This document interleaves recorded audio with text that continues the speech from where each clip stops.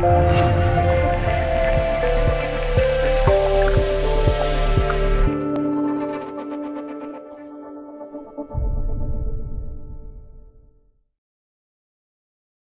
标题：继老干妈后，一件国产羽绒服也被美国人民盯上了。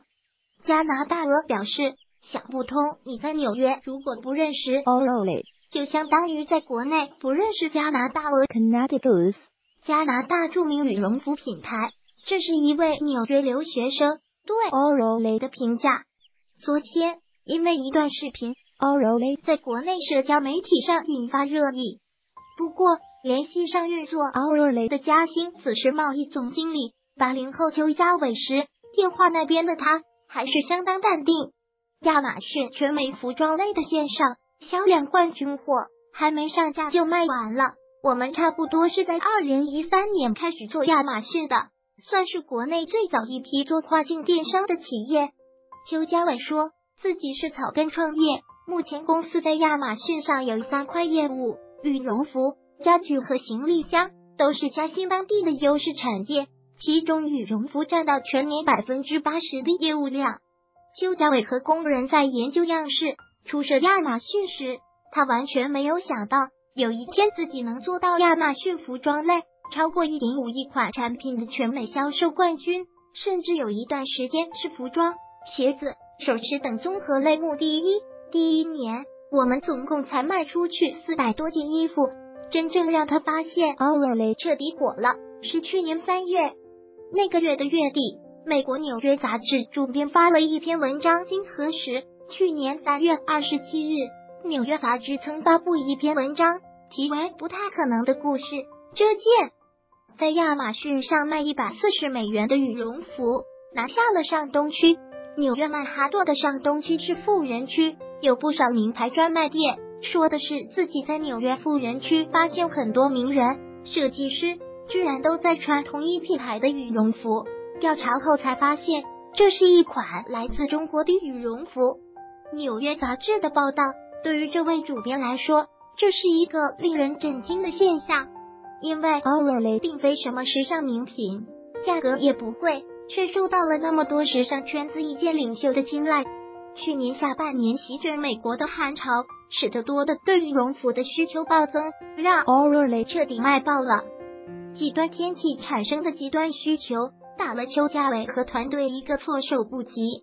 因为卖得太抢手，来不及备货，从去年下半年开始，他们只能被迫选择时间更短、成本更高的空运，但还是常常赶不上。现在我们的产品往往是刚入仓，还没上架，在预售阶段就已经卖完了。去年十二月到现在，基本处于断断续续能买到的状态。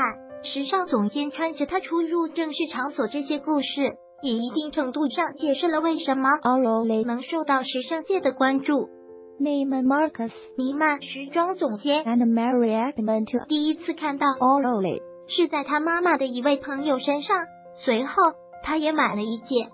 在一次活动中，他发现另外三人和他穿同一件外套，其中一位是社会名流和创意顾问。Lauren Du Pont 纽约杂志去年三月相关报道，截图一件名牌羽绒服能换八件。Orally 昨天在国内社交媒体上引发热议的这段国外视频里，主持人拿着一件 Orally 的衣服和加拿大鹅 Canada Goose 以及蒙可拉 Moncler 比较，前者只要一百三十多美元，后两者分别需要八百二十五美元和一千多美元，Orally 的性价比不言而喻。亲民的价格。保暖、时尚、防水等特性，为 Orally 的走红奠定了基础。眼下，在国外社交媒体上，有粉丝专门为 Orally 创建话题，成了 Orally 的自来水。邱家伟说，亚马逊网友 Sarah 的评价也很能说明问题。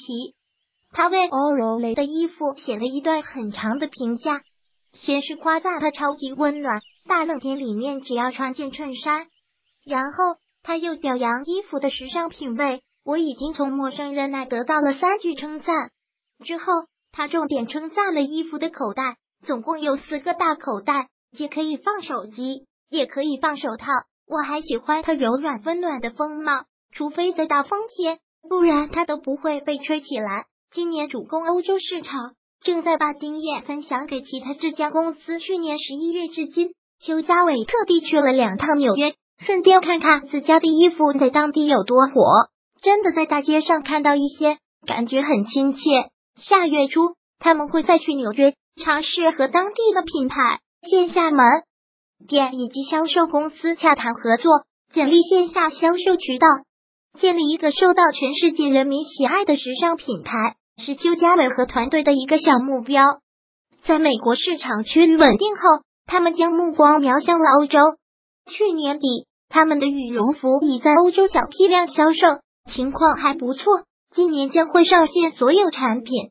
另外，做内销也是邱家伟一直在考虑的事，但因为国内外市场环境不一样，团队上下都比较谨慎。